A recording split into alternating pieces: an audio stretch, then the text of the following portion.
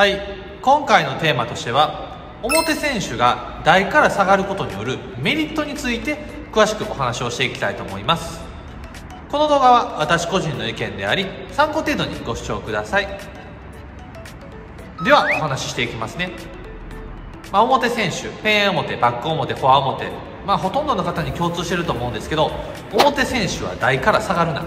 これはもう口うるさいぐらい多分言われることやと思うんですけどただ台から下がることも絶対にあると思うんですよ。そうなった時に、まあ、メリットがないわけじゃないです。でそのメリットがどういったものであるのかについて今回は解説できたらいいかなと思います。で表選手が台から下がるメリットの1つ目としてはいろんなボールに対応できるようになるということです、まあ、切り替えであったり、まあ、ペン表とかやったら回り込んでパンって打つことが多いと思うんですけど、まあ、その中でそれは前で打てたら一番いいんでしょうけどそしたら無理なボールだってあるじゃないですか。それを無理やり前で取りに行って失敗するんじゃなくてあえて後ろに下がって打つことによってやっぱ取れるボールもいっぱい出てくるしまあ、ブロックとかでもそうですよね。バック表でもやっぱりこうドライブゴンって打たれた時に前に張り付いてバンバンバンバンってやったら、まあ、変えるボールは確かにいいボール出るかもしれないんですけどその分ミスも出るし安定感がなくなっちゃうんですよやったらちょっと距離を置いてふわって返すようなやっぱブロックとか、まあ、ライトの距離を置いてですねそういうことができたら、まあ、応用性が効くんですよねという部分でもやっぱその表のボールとか、まあ、いろんなボールに対応するためにも、まあ、表選手が台から下がることは必要かなと思います、まあ、これが1つ目のメリットかなと思いますね。2つ目のメリットとしては体をしっかり使って打つ感覚が身につけやすいということです、まあ、特にフォア表ペン表の場合ですね。まあ、やっぱ前に張り付いているとどうしても相手のボールの勢いを利用してパンパンパンパンって打つことが癖になってくるんですよ。悪いことではないですけどやっぱ相手によっては止まるボールとか、ま、カット打ちとかでもそうですよね。自分の力でボールを飛ばすなあかん時にそういう利用する打ち方だけやったらなかなか厳しいものが出てくるので、まあ、その時にやっぱこう後ろから下がる、まあ、練習であったり、まあ、試合とかでも後ろから下がることがあった時に自分の力でちゃんとためを作ってバチって打つことが、できるようにやっぱなりやすいかなと思います。まあ、そうしないとボール入らないですからね後ろ下がると。どんだけボールの勢いがあってもじゃあ相手と距離が離れたら多少ボールは失速してくるから、まあ、表ラバーとかやったらやっぱボールが、まあ、飛んでくれへんねんからその分自分の力でバーンって飛ばす感覚とか、まあ、練習をしないといけないってなってきて、まあ、嫌でもやっぱ覚えることができるんですよ、まあ、後ろから表で後ろから下がって打とうと思ったらこうせなあかんっていう風にまあ、無意識にやっぱ練習することができるんで、まあ、表が後ろに下がるメリットのこれは2つ目になってくるかなと思います。で今回はちょっと表の後ろに下がるメリットは2つだけになるんですけど次は注意点についてお話をしていきたいと思います、まあ、表が下がるとメリットはあるけど、まあ、注意点もいっぱいあります。その注意点の1つ目としては基本的には前でプレーする意識を持つということです。後ろに下がってもメリットがあるんやったら後ろ下がったらええやんって思って後ろ下がってパンパンパンって打ち合いしても、まあ、表なんでねやっぱりブーは絶対悪くなってくるから基本的には前打てるボールはちゃんと前陣で打つぞっていう意識を持った上でどうしようもない時だけちゃんと後ろに下がって対応するっていう意識を持っとかないとやっぱね後ろ下がると簡単やから何でもかんでも下がっちゃうんですよってなると表張ってる意味ないからもう裏張ったらええやんってなってくるんでそこは間違えないようにしたいです基本のプレー領域は前陣またはちょっと下がるぐらいですねそこは絶対に間違えてはダメです2つ目としては打つコースをちゃんと考えるということですまあ、引き合いになったりとか、まあ、表でもあることはあると思うんですけどその時にフォア対フォアで打ち合いしたらそれは裏ラバーってバウンドが跳ねてくるし回転量も多いし、まあ、強いボールやと思うんですけど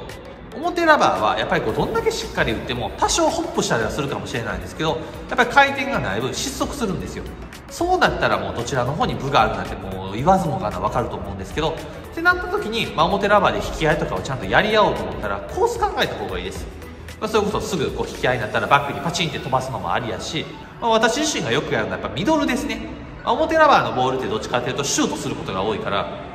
まあ、そのシュートするボールを相手のまあフォアミドルぐらいにやっぱ打つことができたら相手が詰まってくれるんですよ。ってなってくるとちょっとずつ分は良くなってくるんでただこう後ろ下がってバンバンバンっていくら体使ったとしても打ち合いするのは避けた方がいいです。いろいろこうコース取りとかそういうボールの威力以外の部分でやっぱこう変化をつけていくことが表の後ろ下がった時には必要になってくる部分かなと思います。で3つ目としては、まあ、後ろ下がっていってその後前に戻れる準備はしておいた方がいいです。これが後ろ下がって同じようになんかこう引き合いパンパンパンって打ち合うとそれってやっぱ自己満足になってくるんですよ。ぱりラリーで相手に勝とうと思ったら表の選手は前にいた方がいいと思うんで1本バックモンとかでも後ろにパーンって下がってしまった。で次のボールはしっかり前に戻って打つっていう、まあ、意識であったり準備をちゃんと行ってもらうことが大事かなと思いますね。そうすることで相手を驚かせることもできます。まあ、後ろで打ってて打ち合いしてたなと思ったら急に相手が前に行ってパパーンって打ったら相手のリズムが狂わされて相手がこう詰まったりとかつんのめったりしてくれて、まあ、有利な展開に持っていくことができるんで後ろから前っていう、まあ、その戻り、まあ、逆襲みたいな感じですね。そこのやっぱこう変化のつけ方は意識した方がいいですね、まあ、あとは4つ目。まあこれは一応その個人差が分かれるかもしれないんですけど、まあ、できる人はやった方がいいって感じですね。意図的にナックルのボールを送り込んだ方がいいです。やっぱボールは失速するもんなんですよお寺場は。それを無理やりこうボール飛ばそうと思って無理やり力強く力強く打っても、まあ、力入ってミスが出ちゃうだけなんであえてナックル気味のボールを引き合いとかそういう後ろ下がった時に送ることも大事かなと思います、まあ、引き合いになった時やったらナックルのボールやったら打ち返そうと思ったらボトンって落ちるとかまあ、それこそ相手に振り回されて自分が後ろ下がってバシンって打つ時もナックルのボールにしたら相手がポトンと落としてくれることもあるんで、まあ、そういった打ち方はまた解説したいんですけどそういうやっぱボールも取り入れた方がいいです。やっぱりこう後ろから下がって体使って打とうと思ったらどうしてもボールが山を描きがちになっちゃって、まあ、いわゆる取りやすいボールになっちゃうんでその中でちょっとリスクを負ってもいいからナックル気味にパンってこう鋭いボールを送ることによって、まあ、相手の嫌がるボールを後ろから打つことができるかなと。まとめとしてはもう私自身の考えとしては表選手もやっぱり下がれるようにしといた方がいいです。前にいるっていう考えだけで卓球をやっちゃうとやっぱ視野も狭くなっちゃうしいろんなボールに対応できなくなっちゃうんですね。それこそトーナメント勝ち上がろうと思ったらいろんな特徴の選手と試合しないといけないんでその時に自分は前でしかプレーできないとかそのプレーのやり方が偏ってしまったらやっぱりこう安定して勝ち上がることって難しくなってくるんでいろんなことができる選手になった方がいいです、まあ、そういうことブロックでもそうですしね打つだけじゃなくて守ることもできる。ま、ペンを持つとかでも前でブロックじゃなくてちょっと下がってフィッシュ気味に粘ることができるとかそういったことができるだけでやっぱ引き出しが増えてくるんで、まあ、負けにくい選手にはなるかなと思います。ただ下がればいいっていうわけでもないっていうことをやっぱ意識しておきたいですね。下がるってことは基本的には不利になるということなんでその時にやることをちゃんと意識しておくだけで、まあ、基本的に特に格上の選手に勝とうと思ったら前陣っていうプレー領域はやっぱこう崩さないように意識したいです。まあ、その中での、まあ、ごまかしみたいな感じですよね、まあ、ごまかしっていうところがやっぱり表ラバーで大事だしまあ弱点の多いラバーやからその弱点を使えた時にどうやってうまいことごまかすかっていうところをやっぱちゃんと考えて戦術であったりそういうなんか技術的なものもやっぱ作っておいてもらったら余裕が持てると思いますね、まあ、余裕がなくなって必死にただプレーするだけになったらもうなんか頭真っ白になって何していいのか分からへんっていう状況に陥りやすくなってくるんで